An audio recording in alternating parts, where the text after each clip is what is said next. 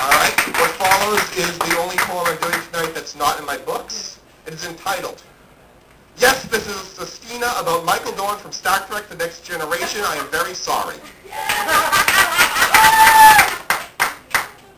Oh, let us sing of Michael Dorn.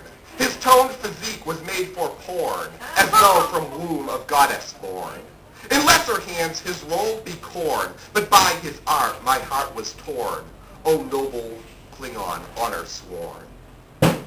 Yea, on first glance I would have sworn the role was more effect than Dorn. Suspended disbelief atorn by forehead of prosthetic porn.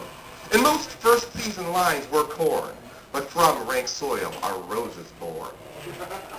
The distant world where Worf was born, the capital where oaths were sworn and mercy rare as unicorn, was not the set for Michael Dorn.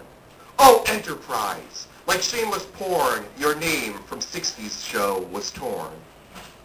And on that ship, Worf's soul was torn between the warrior he was born with combat suit from fetish porn and Federation duty sworn. And from that conflict, Michael Dorn drew heat enough for popping corn. Reduced to simple tropes, it's corn, a page from penny novel torn. And sometimes even Michael Dorn could not save dialogue stillborn. But as an actor, he was sworn to do all duties short of porn. Oh, some may watch their German porn, or sit in theaters with popcorn.